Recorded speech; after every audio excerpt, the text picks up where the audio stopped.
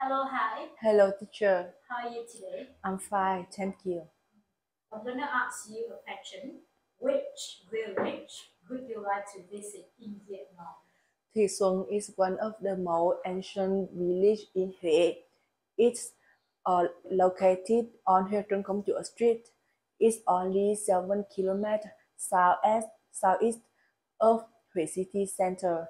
According to the oldest artist, the craft and making has existed about uh, 700 years under Nguyen dynasty. This was the place. This was the place that provided incense for the court, the mandarin, and people in Thuận Hoa, Xuân, and Huế region.